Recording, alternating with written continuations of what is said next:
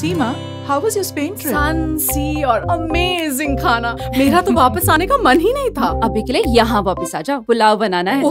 The great pulao. Why not bring Spanish flavours right here to a khana at home VT mega basmati इसके लंबे दानों से बनी हर dish दिखने में जितनी सुंदर खाने में उतनी ही लाजवाब होती है। फिर पुलाव हो या paella? Mega Spanish anyone mega tasty VT mega basmati कुछ नया हो जाए